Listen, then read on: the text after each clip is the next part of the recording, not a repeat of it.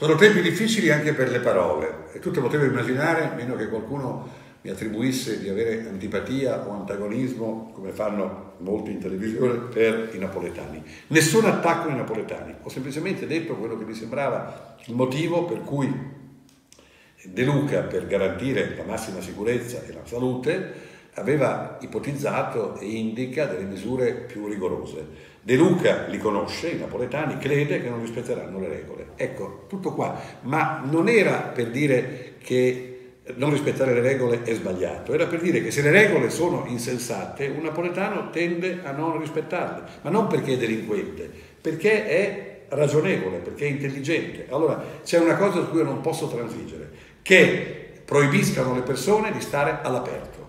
La forma migliore di sanità per i polmoni è l'aria aperta e quindi se un napoletano passeggia sulla spiaggia e va al mare non in quantità di persone ma da solo, credo che non fa nulla di male. Se uno prende la sua barca e va per mare non fa nulla di male, quindi non sono pronto a cedere su nessun punto rispetto al fatto che è stato un errore impedire alle persone di stare all'aria aperta. Ho immaginato che i napoletani la pensassero come me, nient'altro ma se avete rispettato, se rispettate tutte le regole, benissimo, non sarò io a dire che voi perseguite delle forme di illegalità. Era solo l'idea di un istinto contro una norma sbagliata. Camminare da soli, andare in bicicletta, andare per mare da soli, sulla propria barchetta, andare su una spiaggia, non è nulla che non sia più che giusto. Lo impari Conte e lo imparino quelli che vogliono imporci di stare al chiuso in case piccole piuttosto che stare all'aperto. Era questo che volevo dire e mi auguravo che fosse una posizione assunta dai napoletani